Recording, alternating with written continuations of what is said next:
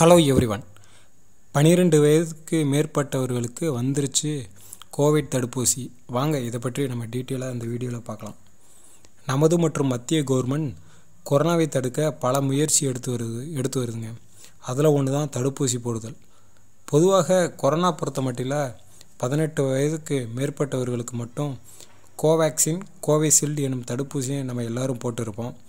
ஆனால் கொரோனாவை மூன்றாம் அலை குழந்தைகளை பாதிக்கும் என்பதால் குழந்தைகளின் நலன் கருதி பனிரெண்டு வயதுக்கு மேற்பட்ட குழந்தைகளுக்கு தடுப்பூசி வழங்கப்பட உள்ளது.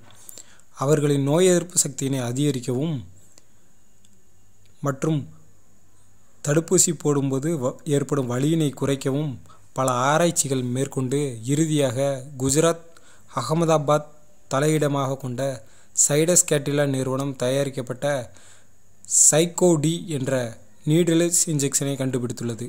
இது ஊசி இல்லா தொழில்நுட்பம். இது ஊசி இல்லாமல் இன்ஜெக்டர் மூலம் மூக்கின் வழியே செலுத்த வல்லது. இதை டிஜிஜிஐ எனப்படும் இந்திய கட்டுப்பாட்டு அமைப்பு ஒப்புதல் அளித்துள்ளது. இதன் விலை மு முந்நூறு என நிர்ணயித்துள்ளது. நன்றி.